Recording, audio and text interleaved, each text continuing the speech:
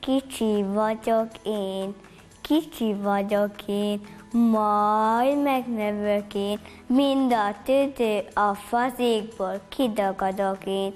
Kicsi vagyok én, majd megnövök én, apámtól is, anyámtól is nagyobb leszek én.